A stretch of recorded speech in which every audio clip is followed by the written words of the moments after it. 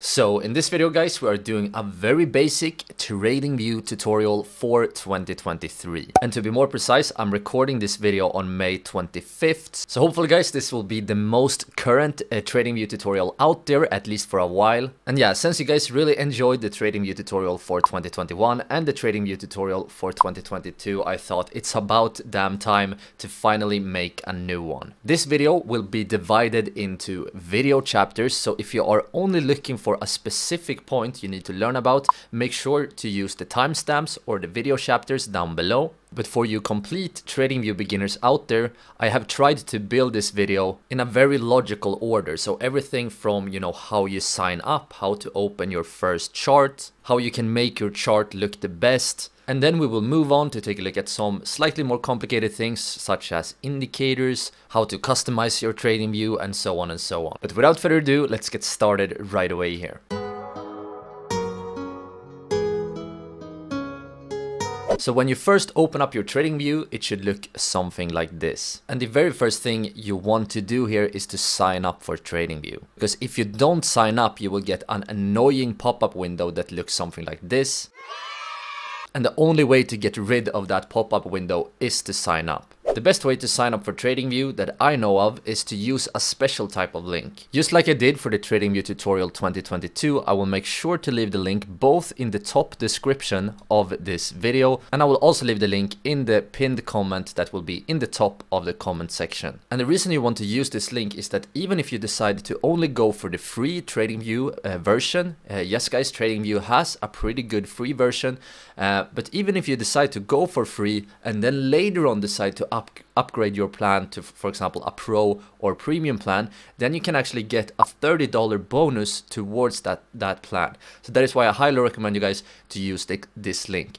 If you don't want to, you can just go to the TradingView site, site here and click on Get Started. So that is yet another thing. So let's click on Get Started right now to sign up. And as you can see on this window right here, you can get started for $0. Uh, you can sign up for free. And that is what I recommend most of you guys to do. Or the other thing you can do is that you can right away sign up for a 30 day free trial on some of their either Pro, Pro Plus or Premium plans. All of these plans are ad free, which is super nice, but they also allow for many benefits such as being able to use more indicators on the chart. You can have multiple charts in one layout, more price alerts, and there are tons of tons of benefits. But as I said guys, starting with the free plan or uh, just starting with a free trial is two very good options. I will not talk about all the benefits in this video, but I recommend you guys to read all of the plans or take a quick look at all of the plans and see which one is best for you. Alright, so when you first log into TradingView, your starting screen should look something like this. Down in the left corner, you have a few very popular markets such as Bitcoin, Tesla and Apple. On the right side you have a bar with many different markets, for example S&P 500, which is the world's largest stock market index, and you have tons of other financial markets here changing in value every single second. But as a beginner in TradingView, the first thing you have to learn is how to open up a TradingView chart.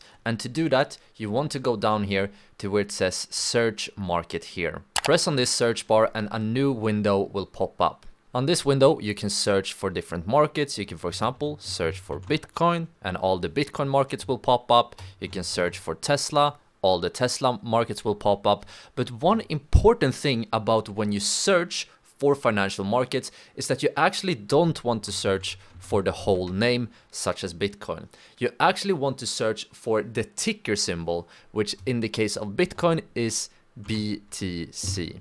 So pretty much all the markets have a ticker symbol and that is basically a very short, some short letters uh, that is assigned to a specific market, for example Bitcoin, and these letters makes it easier to search for specific markets. So for example, when you search for Bitcoin, you don't want to search for Bitcoin, but you want to search for the ticker symbol which is BTC. When we have a large market such as Bitcoin, you will also find um, you will also find the chart if you search for Bitcoin. But when you have very small markets, it can often be hard for TradingView to find that market if you don't search for the ticker symbol. So that is an important tips for you all. So now let's say we want to open up a Bitcoin chart. We search for BTC. And as you can see, we have many different types of Bitcoin charts right here. This is basically because Bitcoin is traded on a lot of different exchanges. You can, for example, see the, the top one is Bitcoin on Bitstamp. The second one here, second one is Bitcoin on Coinbase. So let's actually launch that chart. So congrats, now you have opened up your first TradingView chart right here and hopefully your chart should look something like this. You can see the, these green and red bars right here is what we call candlesticks and these this type of chart is what we call a candlestick chart and this is what most traders use. However, if your chart does not look like this or if you want to change uh, from, for example, candlestick to a line chart or a bar chart or anything like that, you want to go up here to the left upper corner and you see this symbol right here. If you press on this one, you can see that we have many different types of charts. And if I remember correctly, uh, some charts actually start by looking like this. This right here is a line chart and this pretty much no traders uses a line chart because a candlestick chart has so much more information. So now let's switch back to our candlestick chart. We go up here to where it says line, we press this one and we click on candles. So make sure guys that you're using a candlestick chart. Another type of chart that some traders use, let's once again click on this symbol, is actually a bar chart. So let's take a look at how this one looks like. A bar chart actually gives us the same, the exact same information as a candlestick chart, but you can see that it looks a bit different. Some traders actually prefer to use this type of chart, but in my in my opinion, especially for beginners, I think candlesticks are much more clear. So let's once again go back to our candlestick chart. now let's just super, super quickly in a step-by-step -step manner go over how we can read these candlesticks. So when you have a green candle, this basically means that the price goes up during the candle. You can see that the candle opens, it starts down here at the lower part of the green part of the candle and the price ends at the top of the green part. So the price starts right here and when the candle is done, the price is up here. But during the candle, the lowest point during the candle is all the way down here. You can see at the very lowest, lowest part uh, and the highest point of the candle is all the way up here. This black small part we have up here and down here is what we call the candlestick wick and this large part is what we call the candlestick body. And the exact opposite is true for the red candle. The price starts right here. During the candle, it go, goes up to a highest point all the way up here. It goes down to a lowest point all the way down here. But the candle closes or stops at this point. And you may wonder how much time is every candlestick? Well, each candlestick on the chart can represent different time frames. So for example, right now we're looking at Bitcoin and every candlestick on this chart represents one day. But on TradingView, we can of course change the time frame of the candles. And to do this, you go up to where it says a D right here, right here. D stands for day. And if you click on this one, you can see that you have many, many different time frames that you can use. For example, if you want every candlestick to be one hour, you can go down here and click one hour right there. Uh, you can, if you want to change your candle uh, time frame once again, you'll go up to where it says 1H, stands for one hour, and you can change your candlestick to one minute. So here on the chart, every candlestick represents one minute. Uh, so this is how you change time frames of the candlesticks. So let's once again go up here, click one minute and change back to a daily time frame. And now let's talk about one very important thing about how to navigate the chart. So how to zoom in, how to zoom out. This is a very important aspect. And right now what I'm doing is that I'm using my scrolling wheel on my mouse. And you can see that by using this one, the chart automatically zooms in and out. This can be quite nice, especially if you are a beginner, but if you want to turn off this auto zoom, you go down here to the right lower corner where, where it says auto and you press this one.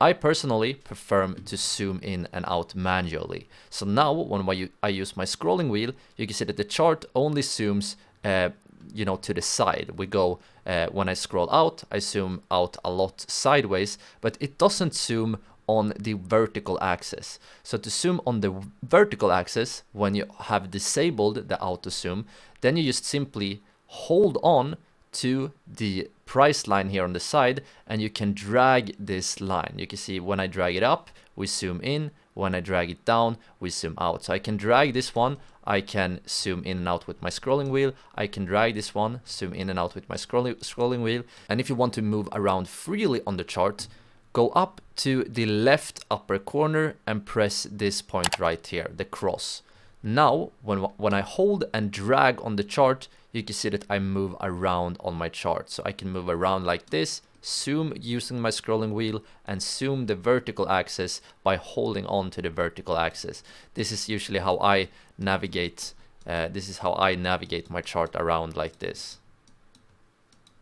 Now let's take a look at one thing you may be curious about. You can see that we have bars. You can see we have bars down here on the chart. I'm talking about the green bars and the red bars right here. This is what we call volume bars. And the volume bars basically represent how much is traded during that uh, particular candle. So for example, you can see this green candle right here. If you go down and take a look at the volume bar, you can see that during that candle, we had a very large volume bar. What this basically means is that during this candle, we had lots of lots of transactions. So it means basically that many people were buying and selling Bitcoin that day. And a strong volume bar is something you can use in many strategies, many technical analysis strategies. But for now in this video, let's just notice that these volume bars represent how much that is traded during that particular candle. And if you want to disable your volume bar, you basically go up here to the left upper corner where it says vol here for volume. It says vol.bitcoin because we are on the Bitcoin chart. And if you press this hide right here, you can see that the volume bars will appear.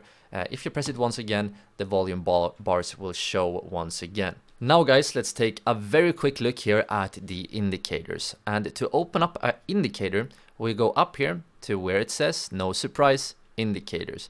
We press on this one right here and a new window will appear where it says indicators, metrics and strategies. And here you have tons and tons and tons of different technical analysis indicators. Let's start by showing a basic but very powerful indicator, which is the RSI indicator, which stands for relative strength. To open up the RSI, you search in the search bar for RSI and you can see here that many different RSI indicators will appear. We have super many different versions of the RSI indicator, but the most common one, and this one is super power powerful, is just the relative strength index indicator. So let's press on this one right here. I will not have time to talk about what the RSI indicator does in this video, but right now I will pop up a video on the corner in the eye where I talk about what the indicator is, how to use the RSI indicator, and I will also talk about a, an RSI indicator trading strategy. So if you want to learn more about the RSI, make sure to check out that video. Now guys, let's go up to indicators once again. We press indicators and let's open up another one. Let's open up another indicator you might have heard of, which is super popular, and that is the MACD. So what I do here, I search for MACD and I press the MACD, which stands for Moving Average Convergence Divergence. So let's click on this one. So now you can see here, I have both the RSI indicator and the MACD on the chart. Once again, for the MACD, I won't have time to go into depth on how to use the MACD indicator here. And now guys, I just recently opened yet another indicator and now I'm about to open a fifth indicator. Uh, so let's open up just a random one. Let's search for candlestick uh, candlestick patterns. This is a, an indicator that can detect certain patterns in the market. But as, as you can see, when I open this one, it says that in order to get more indicators, um, to be able to have more indicators on the chart, you need to upgrade your plan. So this I'm just showing to demonstrate that if you want, for example, many indicators, you will eventually need to upgrade your upgrade your plan. However, I still want to emphasize that you can go a long way on the free version. Alright, okay, so I really, really hope you got some value from this video and that you are now ready to get started with TradingView. If you guys want more TradingView tutorials, please, by all means, let me know down in the comments below. Also, please uh, feel free to give me suggestions on what type of videos you want to see next on the channel. And also, of course, make sure to subscribe and hit that notification bell so that you don't miss any video. And guys, if you want to support the channel a little bit extra, the best way to do that is to sign up using the link uh, in the top comment as well as the description.